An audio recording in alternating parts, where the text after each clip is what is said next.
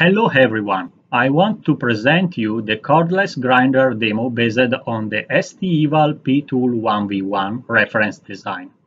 This demo shows how the board can be used for making a prototype of power tool in a few steps. The board is a very compact solution.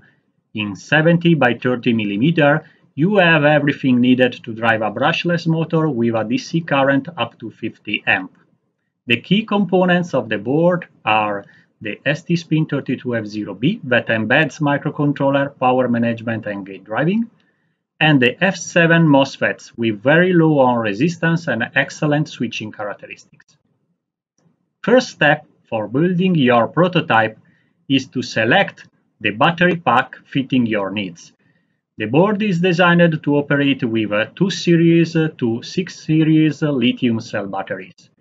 In our demo, we selected 18 volt battery pack. The battery is connected to the board soldering the wires to J1 and J2. Then, connect the Hall sensor providing the position feedback of the motor to the J7 strip on the board. Motor phases must be soldered to J4, J5 and J6 connector taking care of the phase sequence. Last step connect the start-stop button.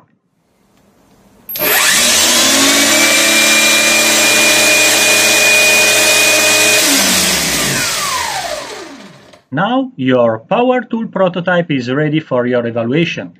Without the need to design your own board, you can check the system performance, tune the power stage and play adding new functions starting from our source code.